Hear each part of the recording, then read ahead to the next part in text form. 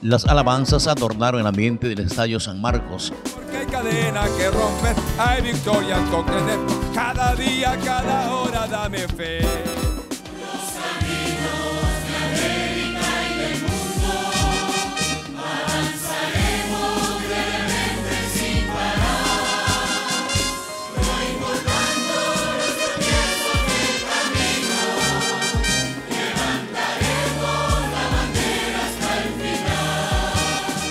En el primer servicio inaugural, la cual contó con la asistencia de miles de personas que llegaron de distintas ciudades del país. El portador del mensaje de Dios estuvo a cargo del reverendo José Soto, oficial internacional del movimiento misionero mundial.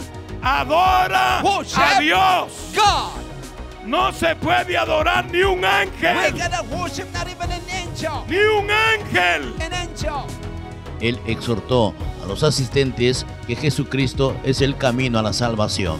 Tenga fe en Jesús hoy. Now have faith in Jesus. Tenga fe en Jesús. Have faith in Jesus. Entregue eso hoy Today give that to en el altar del Señor on the altar of God y conozca al Dios viviente. and know the living God. La palabra de Dios hizo la obra en los corazones de las personas y en el llamado pasaron a la plataforma a ponerse a cuenta con Jesucristo, único Salvador.